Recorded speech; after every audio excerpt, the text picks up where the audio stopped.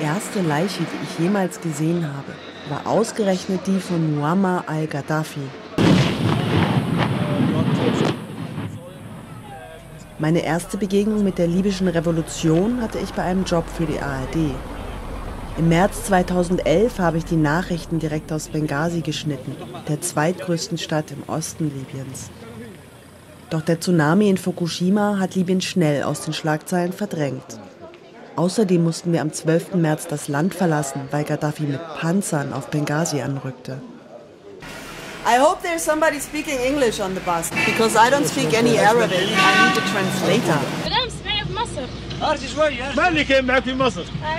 مروحة من مصر بدل عندنا شيل النيابة تو اه شنو جنسيتها؟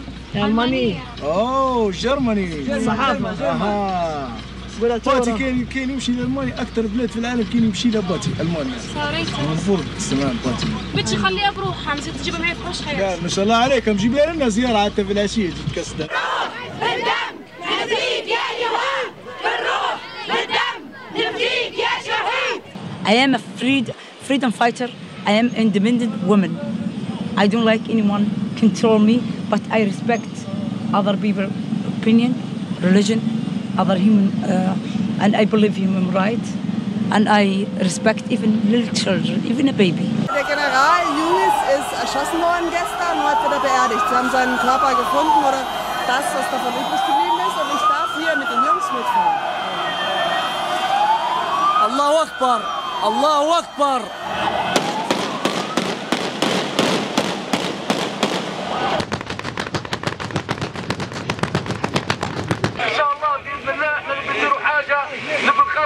نخلوا الجبهه تحت رايه واحدة الجيش الوطني الليبي. بس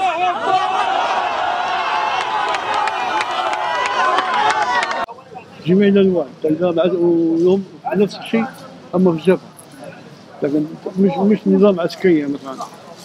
كلر واحد ولا واحد. تلقاه لوح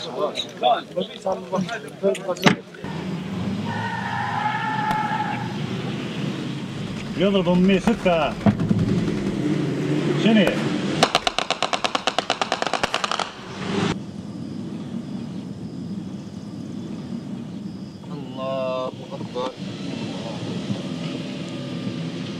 Die Kämpfer waren davon überzeugt, dass Allah auf ihrer Seite ist.